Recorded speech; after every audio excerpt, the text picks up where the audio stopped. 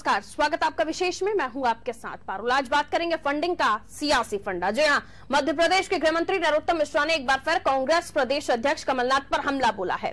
प्रदेश से करोड़ों रुपए कांग्रेस मुख्यालय भेजे जाने पर गृह मंत्री ने कहा कि आखिर कमलनाथ का सच सभी के सामने आ गया। साथ ही गृह मंत्री ने कमलनाथ की तत्कालीन सरकार को सदी की सबसे भ्रष्ट सरकार बताते हुए कहा कि कांग्रेस और कमलनाथ ने वल्लभ भवन को दलालों का अड्डा बना दिया था। महिला बाल विकास के कुपोषण के पैसे से राहुल का कुपोषण दूर हो रहा था। सोशल वेलफेयर का पैसा राहुल बाबा के गांधी वेलफेयर में जा रहा था। साथ ही गृह मंत्री नरोत्तम मिश्रा ने कमलनाथ की तुलना मोहम्मद गजनबी से की है और कहा कि जैसे विदेश से आए गजनबी ने देश का पैसा लूटा, वैसे ही मध्य प्रदेश के गरीबों का पैसा लूटकर कमलनाथ ने जघन्य पाप किया है। आपको बता दें, एक रिपोर्ट में खुलासा हुआ है कि मध्य प्रदेश में कांग्रेस सरकार के दौरान ऑल इंडिया कांग्रेस कमेटी के कांग्रेस मुख्यालय में 106 करोड़ रुपए की लेन देन की गई है। रिपोर्ट के मुताबिक साल 2016 से 19 तक के बीच में ये पैसा कांग्रेस मुख्यालय भेजा गया। जिसके बाद अब आयकर विभाग इस मामले की जाँच कर रहा है और आयकर विभाग के पास 408 पन्नों का स्रोत भी मौजूद है, जिसके मुताबिक 13 फरवरी 2019 से 4 अक्टूबर 2019 के बीच चौहत्तर करोड़ बासठ हज़ार रुपए पार्टी मुख्यालय भेजे गए। वहीं अगस्त 2016 से सितंबर 2016 के बीच 26 करोड़ 50 लाख रुपए पार्टी मुख्यालय पहुँचाए गए। वहीं अब इस खबर के सामने आने के बाद कांग्रेस में हड़कंप मच गया है और कांग्रेस नेता सफ़ाई देते नज़र आ रहे हैं।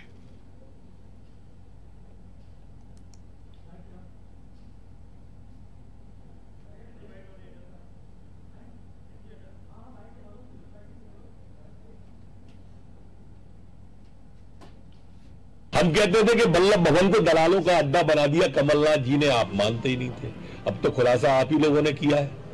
अब तो मान जाओ। अब आपको भी लगता होगा कि खजाना खाली है क्या? रात क्यों अलगता थे कमलनाथ जी? महिला बाल विकास का कुपोषण का पैसा राहुल बाबा के कुपोषण की दूर करने पे लगा रहे थे। सोशल वेलफेयर का पैसा गांधी वेलफेयर में जा रहा था राहुल बाबा के। विदेश यात्राओं पे उनकी पे खर्च कर रहे थे। सिंधिया जी ने इसीलिए अपने आप को अलग कर लिया था उस दौर से, क्योंकि बातों जी बोली लग रही थी कि कौन भाई ज़्यादा करके देगा। गरीबों के खून पसीने की गाड़ी कमाई जिस तरह से कमलनाथ जी ने लूटी है इस मध्य प्रदेश में। और लूट लूट कर जिस तरह से बाहर भेजी है तो मोहम्मद गजनबी की याद आती है। वो गजनबी जो विदेश से आया और भारत का पैसा लूट कर विदेश में ले गया, ऐसे ये मध्य प्रदेश के गरीबों का पैसा लूट कर कमलनाथ जी ने जघन्य पाप किया है। नरोत्तम मिश्रा जी को इस बात में ज़्यादा ध्यान लगाना चाहिए कि मध्य प्रदेश में रोज बलात्कार हो रहे हैं। रोज जो है लूटें हो रही हैं, रोज अपहरण हो रहे हैं। लोग जो है, पूरी जो परिस्थितियाँ हैं, बर्बाद हुई पड़ी हैं मध्य प्रदेश की। तो जो लॉ एंड ऑर्डर का जो काम उनको दायित्व तो सौंपा है, प्रदेश की जनता जो है अपने टैक्स के पैसे में से उनकी तनख्वाह निकाल के देती है उनको। इस बात का वो जवाब दें। और चूँकि उन्हें इस बात का स्मरण रहना चाहिए कि वो इस प्रदेश के गृह मंत्री हैं। कोई छोटी मोटी हस्ती नहीं है, सुदर्शन है। तो ऐसे आदमी के मुँह से केवल आरोप अच्छे नहीं लगते। वो जो है इस बात का जवाब दें, इसके तथ्य रखें ना सामने जनता के। जाँच करें और बताएँ कि कहाँ पर गया, किस बैंक में पैसा गया। इस इस प्रदेश में तो जो है चेक से रिश्वत लेने वाले लोग भरे पड़े हैं।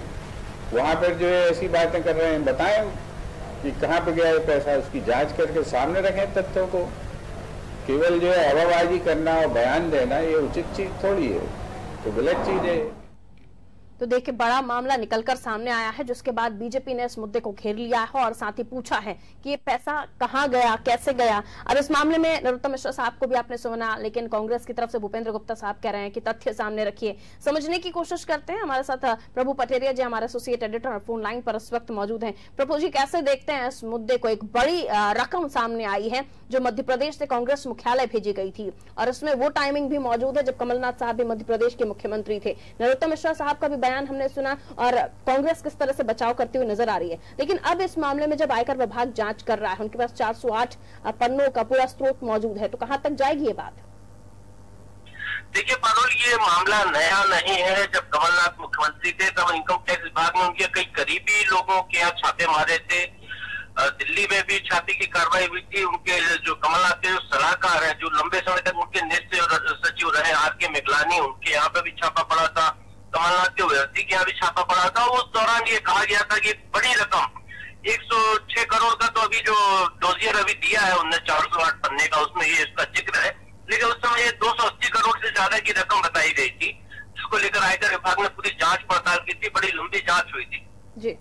ये जो भी आरोप लग रहे हैं जो भी रकम का उल्लेख किया गया है कहाँ से लेन देन हुआ कांग्रेस मुख्यालय दी गई तो ये आयकर विभाग ने जो उनके पास जो दस्तावेज़ बरामद हुए हैं डायरिया मिली होंगी जो ट्रांजेक्शन के डिटेल मिले होंगे उसके आधार पर उनने ये आंकड़ा निकाला है। कि नरोत्तम मिश्रा ने अपनी तरफ़ से नहीं दिया है। नरोत्तम मिश्रा ने केवल वो जो खबर है उसको आयकर विभाग की कल दिल्ली में वो खबर चली तो उस पर नरोत्तम मिश्रा ने अपनी एक प्रतिक्रिया दी है। अब यहाँ जो कांग्रेस का पक्ष है वो कह रहे हैं कि वो बताएँ कि वो कहाँ से रकम आई कैसे होती है चेक से भी यहाँ ट्रांजेक्शन होते हैं। तो चूँकि आयकर विभाग की कार्रवाई है तो आयकर विभाग ने जो रिपोर्ट की है उसी पर बात हो रही है तो उनको ये बताना चाहिए कि कहाँ से आया।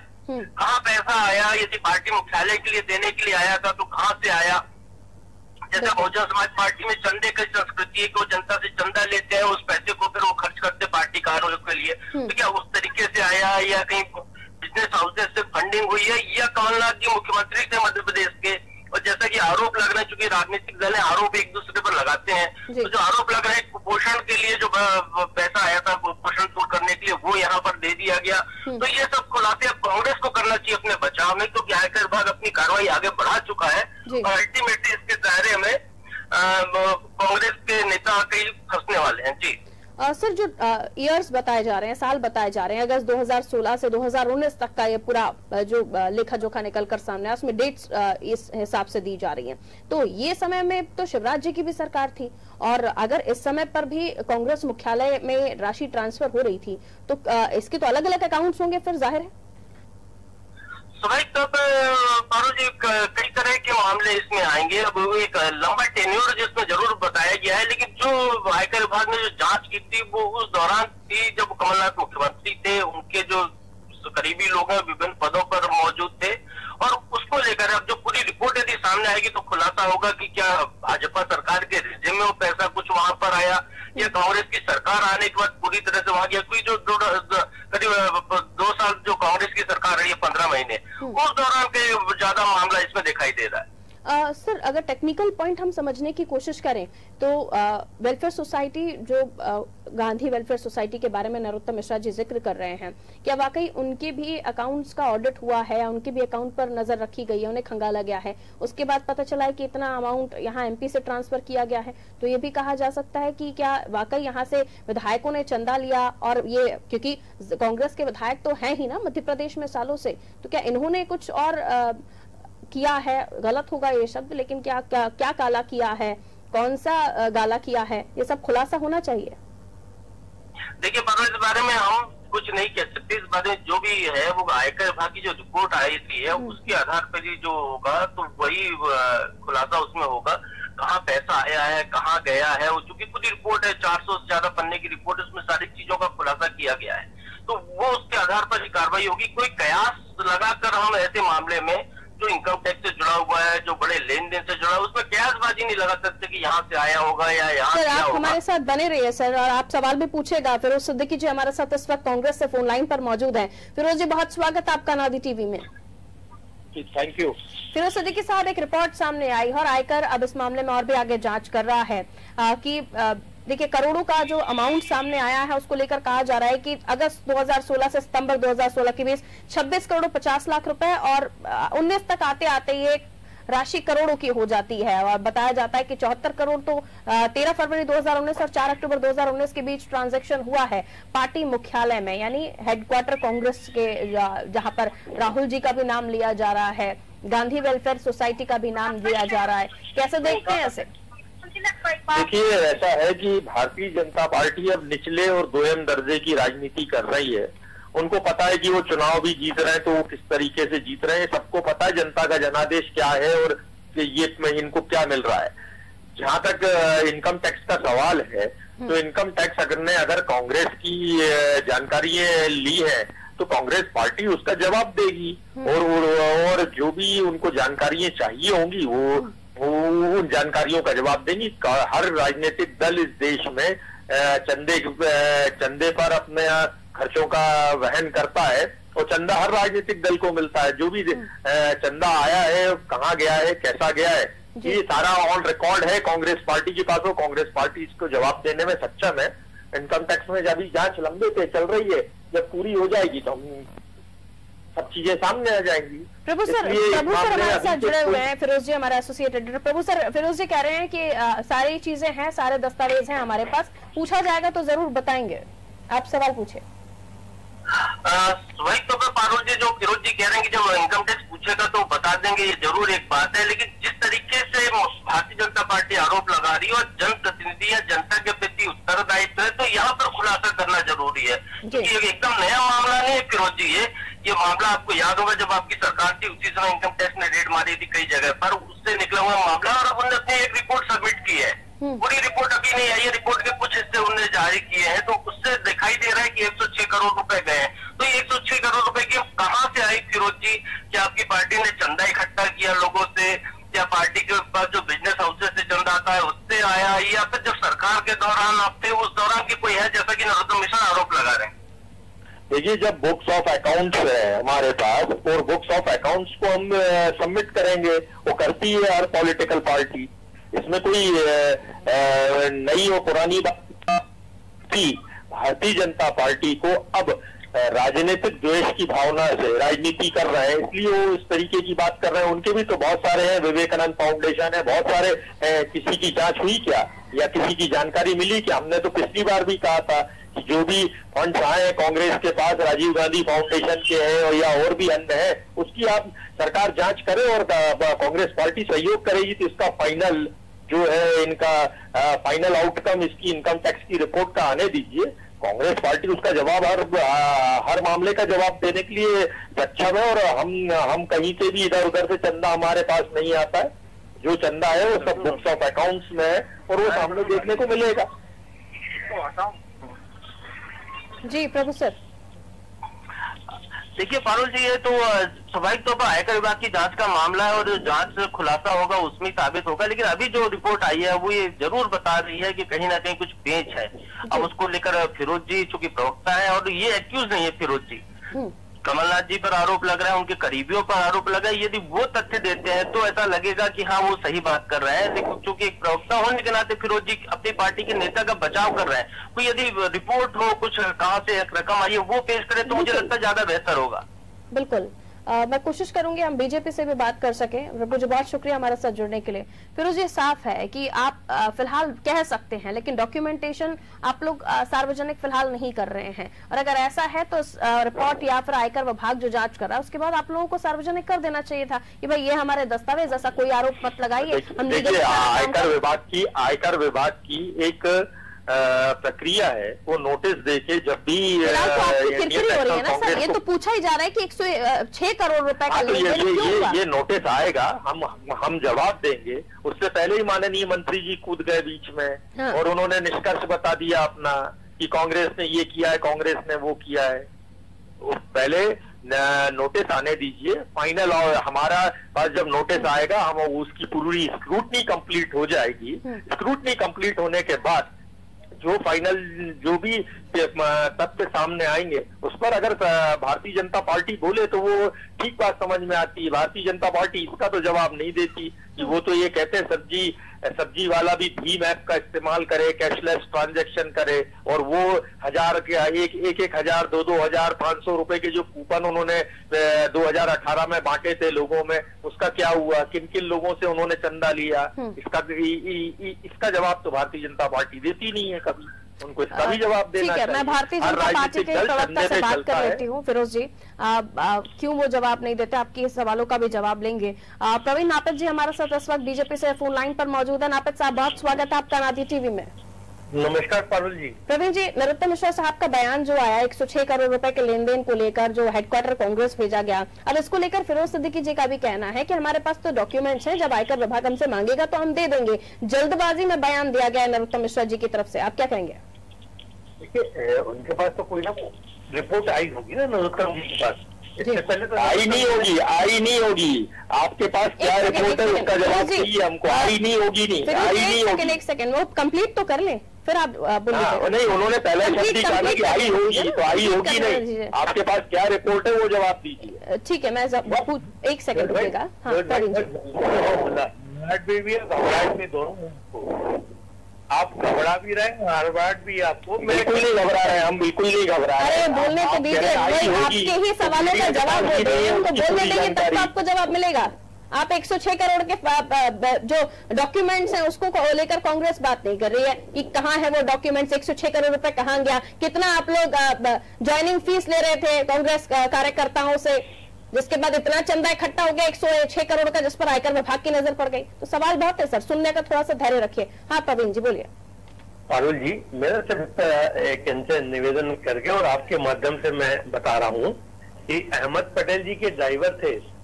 उनके घर में भी छापा पड़ा था करोड़ रुपए मिले थे। और करोड़ रुपए मिले थे तो आज तक नहीं दे पाए थे पूरी कांग्रेस सन्नाटे में आ गई थी। और वही जबलपुर से जो डायरी मिली थी उसका भोपाल में एक शर- शर्मा जी थे, उसमें कितने थे? 200-300 करोड़ का पूरा हिसाब किताब हुआ था। वो पूरा का पूरा पैचअप है। अगर इन सब बातों का ये कांग्रेस और पूरी पार्टी जवाब दे दे, अहमद पटेल जी, जो कांग्रेस के कोषाध्यक्ष उनके ड्राइवर के यहाँ पैसे मिले थे। उसका लिंक कहाँ से आया? फिरोज जी, ये बताएँगे क्या? एक ड्राइवर के करोड़ों रुपए कहाँ से आता है? क्या माध्यम था? कौन सी डायरी पकड़ाई थी किसके माध्यम से पैसे जाना था कहाँ जाना था कांग्रेस सबके सामने आ गई बात। अब वो बात तो हम पूरे खुल के बता रहे हैं। और ऐसा कोई हवा में प्रदेश का गृह मंत्री थोड़ी बोल रहा है। हवा में नहीं बोल रहा भैया आप इसकी जो भैया आप आपके पास जानकारी हो तो आप सार्वजनिक करिए ना उसको। आप तो कह रहे हैं उनके पास कोई रिपोर्ट आई होगी। हमसे एक सौ छह करोड़ का जवाब अहमद पटेल के जो ड्राइवर उनके यहाँ छापा पड़ा था करोड़ों रुपए निकले थे। वो ड्राइवर साहब इतनी कमाई करने लगे की करोड़ों रुपए उनके यहाँ से बरामद हो रहे हैं। भाई अगर उसके पास से करोड़ों रुपए निकले हैं तो वो बाहर क्यों घूम रहा है ड्राइवर? आज तक बेहिसाब संपत्ति के मामले में उनके ऊपर मुकदमा क्यों दर्ज नहीं हुआ? नहीं, हम तो सवाल ये पूछ रहे हैं ना। ठीक है। सरकार आपकी केंद्र में सरकार आपकी आप तो कार्रवाई कीजिए दबोचिए। बिल्कुल कोई डर नहीं है। इसके बाद इनको बता रहे हैं। अरे अब आपको तीन साल बाद याद आ रही मैं है चाहूँगी एक एक करके आप लोगों के जवाब दर्शकों के पास पहुँचे क्योंकि ऑडियो क्रैश होगा तो आप लोगों की बात नहीं पहुँच पाएगी एनर्जी वेस्ट होगी बस आपकी। प्रवीण जी? देखिए क्या है फिरोज भाई की घबराहट और हड़बड़ाहट स्वाभाविक है क्योंकि देखिए इनकम टैक्स का जो जो छात्र होते हैं तमाम सब चीज़ें आती है उसके अप्रेजल रिपोर्ट आती है फिरोज सिद्दीकी भी जानते हैं। अप्रेजल वो जब सिस्टम में पूरा का पूरा किया होगा ये इतनी जल्दी नहीं होती कि 24 घंटे में कोई कार्रवाई हर चीज़ का एक एक होता है और सब चीज़ें। उसके बाद मिगलानी जी के हम छापा पड़ा था उसमें क्या निकला था वो पूरी बातें हम मत खुलवाओ मुझसे। वो तो पारुल जी जिसका हाँ, बोलते जाएँगे। वो सब खुलता जाऊँगा मैं है, बातों। अभी अश्विनी शर्मा क्या छापा पड़ा था जब। तो साढ़े चौदह करोड़ नगद निकले। अश्विनी शर्मा ने कहा मैं तो भारतीय जनता पार्टी का कार्यकर्ता हूँ। हम्म, इस बात का जवाब भारतीय जनता पार्टी को देना चाहिए कि साढ़े चौदह करोड़ रुपए कैसे निकले उनके घर से? ये तो अभी CRPF सवाल- की फिरोज जी ठीक है ये इसके यहाँ छापा पड़ा उसके यहाँ छापा पड़ा ये तो बात है इन पर तो आयकर विभाग कार्रवाई करेगा ही। लेकिन ये बताइए जो 106 करोड़ रुपए का जो आपने कहा कि हमारे हम चंदे लेते हैं सारी पॉलिटिकल पार्टियाँ चंदा लेती हैं उसके हिसाब से जो पेपर वर्क है वो भी हम आयकर विभाग के सामने रखेंगे। लेकिन क्या 16 से लेकर उन्नीस तक इतना चंदा लिया कि 106 करोड़ हो गया और अब उसके दस्तावेज़ आप लोगों को दिखाने पड़ेंगे? देखिए 2017 में चुनाव हुए थे। हमारे यहाँ सुपात्र मेंबर ही करोड़ों से ज़्यादा है। हाँ। दो तीन करोड़ से ज़्यादा सुपात्र मेंबर है जिनकी सौ रुपए फ़ीस ली जाती है। हम्म। और एक सुपात्र मेंबर को पच्चीस कार्यकर्ता पच्चीस कार्यकर्ता बनाने होते हैं अपने नीचे जिनसे पाँच रुपए फ़ीस ली जाती है। तो सवा दो सौ रुपए तो एक ही सुपात्र कार्यकर्ता के होते हैं। तो ये ये सारी चीज़ें तो सबके सामने है। हमारे यहाँ बाकायदा रसीद मिलती है। रसीद और सुपात्र का सर्टिफिकेट सील लगा के वही हमारी सदस्यता होती है मेरे पास भी है वो। और सभी लोगों के पास है कांग्रेस में जितने भी जो परमानेंट मेंबर्स हैं उनके पास। तो हमारे पास जो भी है वो सामने है।